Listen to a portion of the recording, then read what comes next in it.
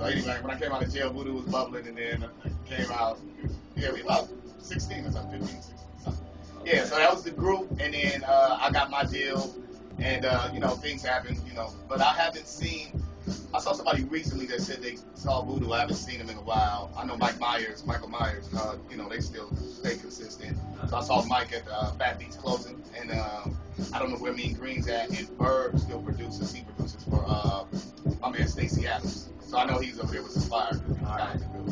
So, um, there, so then that's not gonna happen. You ain't in contact. So, what about the Golden State Warriors? I mean, the Golden State always gonna exist, man. You know, Saafir's up in the Bay. Um, Xzibit's working on his project. Uh, he's got a group with uh, B-Real and my man Young D. Um, so uh, the Serial Killers, that's the name of that. So y'all look for look for that. And you know, I'm part of that project. It's all family. And then he's on Adidas. So Golden State exists. We, you know, we always gonna knock out records. That's technically, without no weirdo, you know, that's technically my best friend. So Word up.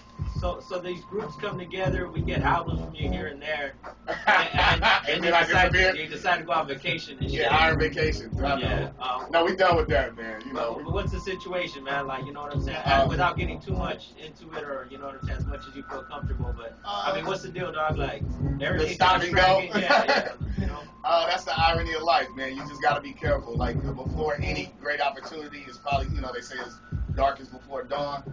So you know, I, you know, that's for anybody. Just right before your blessing opens up, sometimes you get trapped up in something stupid. And I've caught, you know, I've been getting, you know, I've gotten caught up. You know what I'm saying? I ain't no better or no worse than nobody else. I'm just done with that part of it. I'm ready to just, you know, enjoy what I do. You know, I happen to I feel stupid for saying it, but yeah, I'm a rapper. You know what I'm saying? And, and I enjoy it. So, you know, it's time to just make the most of it and enjoy the journey. So, so you're re- rehabilitated. Yeah, man, I'm solved. I'm cured. what, what's part of the rehabilitation, man? uh, you know, just um, I think um, I've been signed. Oh, I was signed. I was signed since I was basically out my life. So let's just say basically I was signed to the same label for about 15 years. You know, and I think there was a lot of frustration being signed to a major label, but not necessarily getting the perks of the major label situation. Um, and now I'm, that's behind me. You know what I'm saying? So I just get to really have fun, do me. It's a lot of people think when you get signed to a major label, everything's solved, and it's not. It's just a whole new set of new obstacles, and it's definitely politics within a record company. You got a lot of hoops to jump through, and you get very frustrated. You know what I'm saying? So I think I was a frustrated artist for a long time. I used to be on Sway Tech Show, and they'd be like, "Ras, rhyme," and I'd be like, "No, I just want to talk."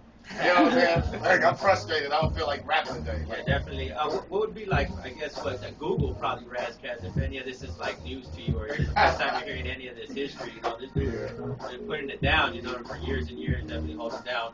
C. Arson, See arson in the building. city north of Compton, Long Beach, south city north, city north of Long Beach, southwest of Compton. See, you put that shit out. I got everybody. You can't even say Carson no more. It's the arson. Because of this dude. Yes, Um, sir. But even now, so then now you're not on the major label. We put out Adidas. Mhm. What, what's the label, man? Or what, what are we looking at? Uh, my company's called Re-Up Entertainment, and then uh, you know, like I said, uh, we put it out um, thanks to Kickstarter, which is uh, basically a, a site where people can pledge. You know what I'm saying? It's like basically like a pre-order situation. So thanks to the people at Kickstarter, um, they enabled us to manufacture a physical CD and like the vinyl. You know what I'm saying? And you know, we just out here pushing it, man, having a good time with it. Uh, you know, live, you know, uh, spot date shows, trying to, you know, lock in and really get the touring thing flipping.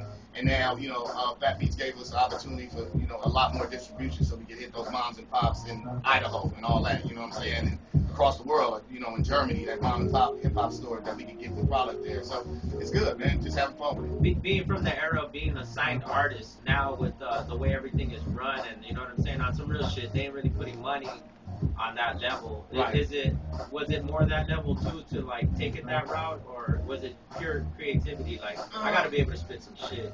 Or I, I really, for me, um, I really wanted to finally do what I wanted to do. You know what I'm saying? Like literally, um, you know, I had a gag order, and I don't want to go back into the past too much, Yeah. but I literally had my hands tied for the past ten years. You know what I'm saying? Like there were certain things I could not do. You know what I'm saying? Um, and it's corporate. You know what I'm saying? Like they'll sue you and, and they give you know a million dollars. I, fuck, I'm gonna pull a million dollars out my ass, and a, a company that makes you know whatever, ten million a month, they can just sue you. And, they, and got then you lawyers got on deck. Like, when that's they got, your job. the funny thing Yeah. about it is they got lawyers on deck, but when they sue you, they go get some big dogs either in like downtown LA, some other like you know what I'm saying, like so so they got a staff of lawyers that they pay two, three hundred thousand dollars a year. But when you go to war with them, they go get a shark. They don't even use those lawyers. So you're fighting a big machine that's pissing against a water hose. So you don't want to be in that situation. You know what I'm saying? I just was obstinate enough to fight with them and shit. But you know what I'm saying? I, I kind of enjoyed just being free. And it, I, for me, it was a breath of fresh air to reach out, do something that really, genuinely, I wanted to do. So, you know, like some people like, man, there's too many songs on the project. Gives a fuck? Yeah, I mean, I wanted to how make- many's on the Adidas, man? I think it's like 23 or something. I don't couldn't know. even see the names, man. I was looking at it, you know. Right, you know, I, if your biggest complaint is that I gave you too many songs, you're an idiot.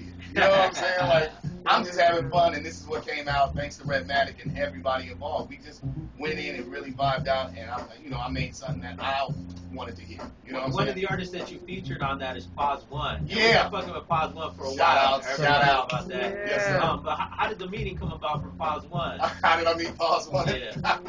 Like, real, real hip hop. Keeping it real. You want to keep it real? yeah. We were in prison together.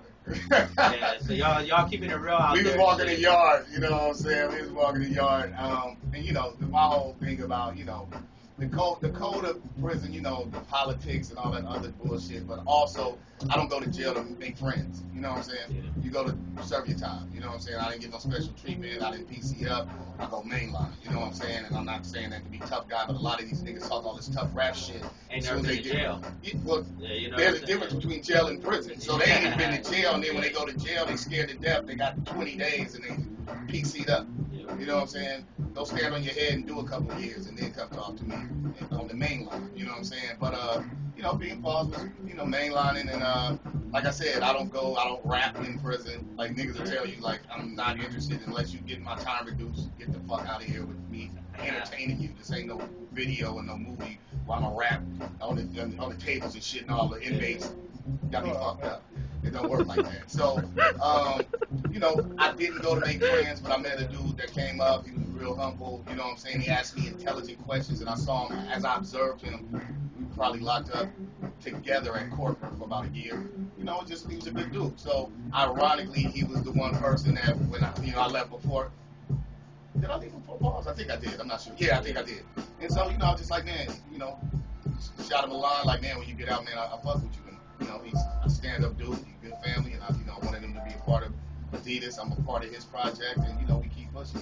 No, like I said, definitely as the Oh, as the- look keeping at this real. guy. Yes, sir. We got a prodigal son in the building. Yeah, OG Huskey Radio. We telling you we doing things, Good, man. boy. Let's go with a big rash. Oh shit. What's good? What's good? Make What's yourself up, comfortable. Make yourselves comfortable. Yes, sir. What's Yes, good, sir.